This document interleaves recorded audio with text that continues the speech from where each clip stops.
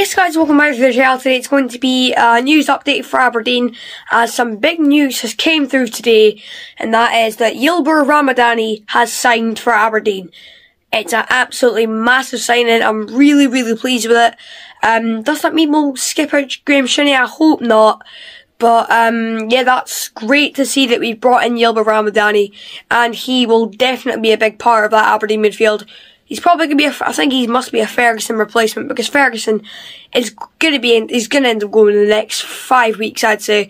Um, unless I don't know if five weeks is when the uh, new season starts, but um, I think uh, he, Ferguson will go soon, and Ramsay will go soon as well. That Liverpool deal is basically almost done. But they, I mean, they haven't even agreed terms yet, so you know it's quite far away. I don't know why I said that it's getting close, but it's getting closer. But they haven't even agreed a contract yet.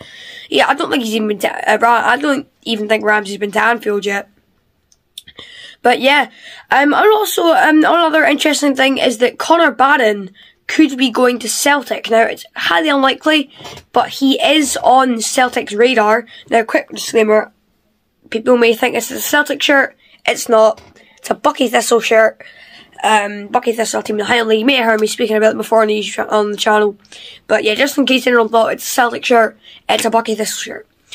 Um, Another big thing as well is that Aberdeen are interested in Liam Scales, who is a young left, I think he's a left back. Uh, he's a young defender who's um, is um, from Southern Ireland and he's plays at plays, plays for Celtic, and apparently he is in Jim Goodwin's plans. And honestly, I would definitely take Liam Scales. I haven't seen much of him at Celtic because um, uh, he doesn't really been getting that much game time. So that's why obviously coming to Aberdeen could um, coming to Aberdeen could definitely get him a good amount of game time. And as well, another thing that could happen is that could mean that McKenzie could get dropped.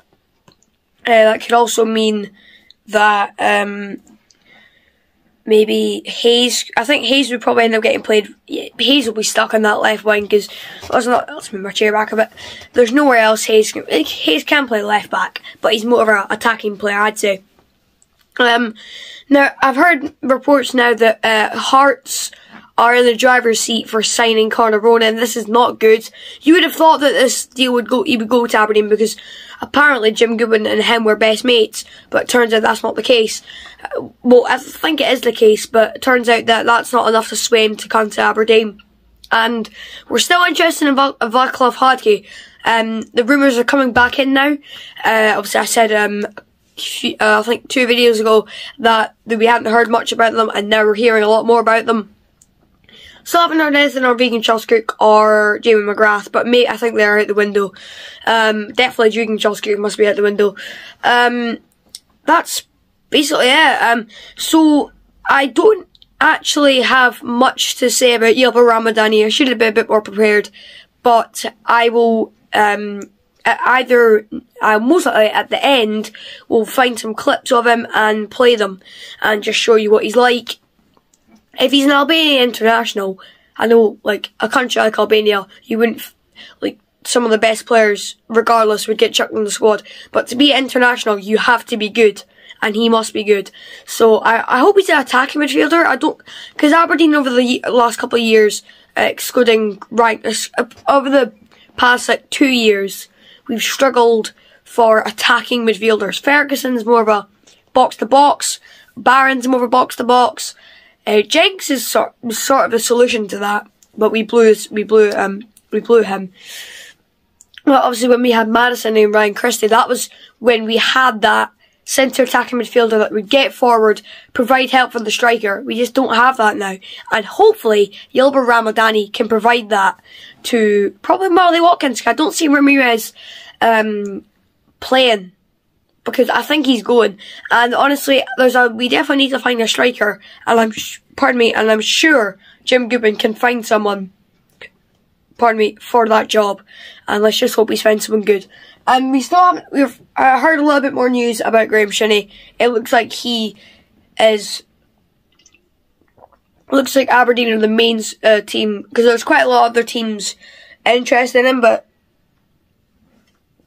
apparently Aberdeen are one of the main ones, and you think when there's more teams downside you can get more money. It's Graeme Shinnie. He loves Aberdeen. I'm sh- I think he's coming back. I can. I'm gonna. I'm not gonna bet on it, but I'm gonna make a prediction. We will sign Graeme Shinnie in this summer window. So yeah, that is going to be it for uh, the transfer update. Hope you guys did enjoy it, and now I will um, play some clips from Yilmaz Ramadani. Hope you guys enjoyed this video. Please like and subscribe, and I'll see you soon for another video on my channel.